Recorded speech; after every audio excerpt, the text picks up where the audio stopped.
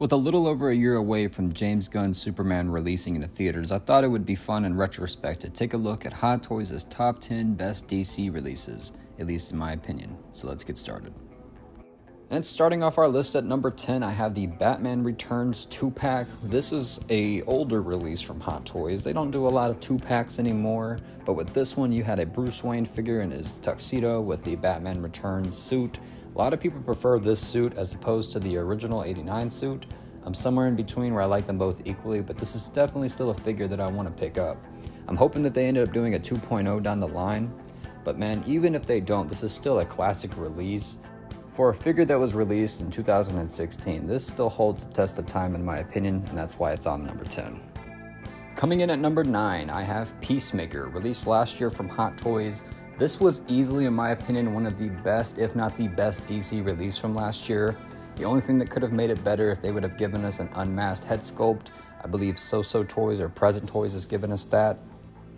But you still had a decent amount of accessories with this guy. You had two different helmets. You had Eagly with two sets of wings. You had the Peacemaker gun, which was easily broken out of the holster for whatever reason they couldn't take it out. The axe, the sword, different sets of hands.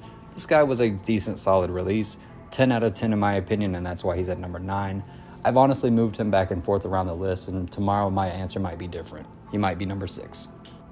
Taking number 8 spot, I gave it to the OG Clown Prince of Crime himself, Jack Nicholson's Joker. Now, I went ahead and threw in the classic look as well as the mime Joker just because it was really hard to choose between the two of which looks better. They're both fantastic releases. They both knocked it out of the park in terms of likeness to Jack Nicholson. Hot Toys was really setting their reputations here back in 2013 when these two were released, and if I had to choose which one I like over the other, I'm gonna have to give it to that classic purple coat suit, man. It's just a creepy looking figure, that grin, that smile. This is definitely one that I'm hoping that they give us a 2.0 down the road. The hierarchy of ranking of these DC Hot Toys is about to change, and that's why this is at number 7 with the DX31 and I believe the DX32 Black Adam figures, released this past February in 2024.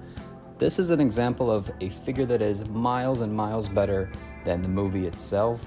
This is honestly like the Morbius release for DC figures, where it's like it looks really, really good and you kind of want to add it just because it's a good looking figure. The movie was whatever, but the likeness to Dwayne Johnson, the overall suit design. It just works here. The colors pop. This pops out in the display. I've seen it in some Justice League DC shelves and it looks fantastic. I, for one, cannot wait to pick this one up. All right, last two pack, guys, I promise. but coming in at number six, I have the Black Suit Superman and the Nightmare Batman from Zack Snyder's Justice League. Now, Zack Snyder's Justice League, if you know the lore or the backstory behind that film, this is already a set worth picking up if you're a fan of that if you're trying to represent that era of Zack Snyder in your collection. This Superman right here, man, this is one of those figures where it's like just the presence in the display pops off. I got to see it at Austin Nicholas's collection, and this is one of those figures I'm still debating. Nightmare Batman, I don't really agree with Batman having a gun, but you cannot deny how badass Batman looks, how badass he looks with all his accessories on him, with the trench coat. This is what Batman would look like in the zombie apocalypse, I'm sure. At fifth place, I have Miss Quinzel herself, Miss Harley Quinn from Suicide Squad from the first movie. Of course, this is another example of a figure being much better than the movie itself. Hot Toys really popped off when it came to the Suicide Squad film, and I really wish that they would have done the same treatment with the second movie. This was a close second to Deadshot taking number 5 spot, but that likeness to Margot Robbie is undeniable. This isn't my favorite Margot Robbie Harley Quinn outfit by a long shot, but this is still one I'm debating putting with the Suicide Squad just because of how good it looks. This is one of those figures definitely pick up. If you can find it for a good price, it's kind of skyrocketed in the secondary market, but definitely worth the pickup. And taking number four spot is, of course, Ray Fisher's Cyborg, man. This is a figure that fans craved for for the longest time after Justice League's line through Hot Toys failed to give us one. Zack Snyder's Justice League came out during the pandemic, and Hot Toys said, you know what? Let's go ahead and give it to the fans. And this came out gorgeous, man. This head sculpt is fantastic. The likeness to Ray Fisher is undeniable. This is one of those figures also too where the proportions can be a little bit more realistic just because you're not having to worry about clothing or an outfit.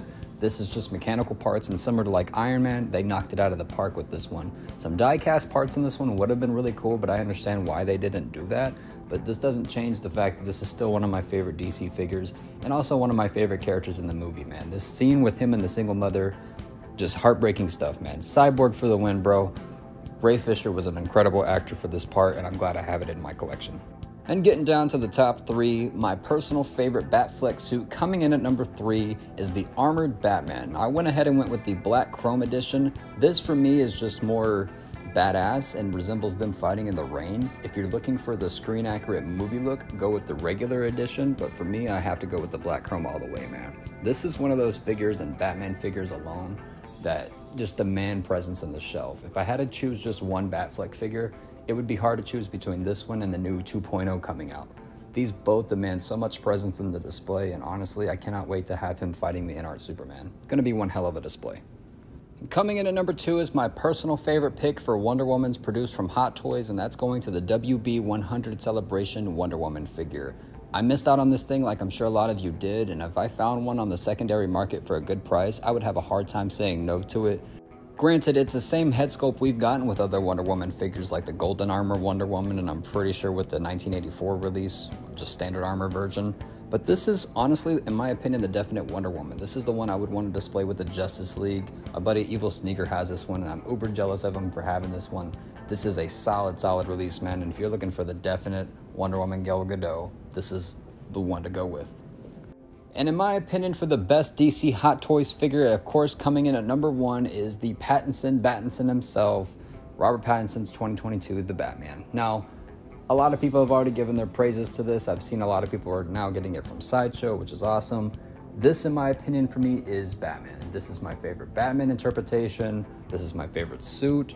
Even if you're going with the InArt route, this is still a great figure to pick up for an unmasked head sculpt. The likeness to Robert Pattinson is incredible. Like this figure is so damn good, I only have two complaints with it, and that's the collar and the cape just being thin.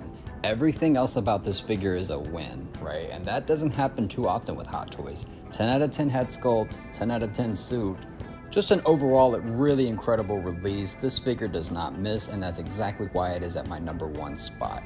So that was my list, guys. I hope you guys enjoyed. Let me know down below what your ranking is. Turn that comment section into a debate. So thank you guys so much for watching, and I'll catch you guys in the next one. Drink your damn spotchka.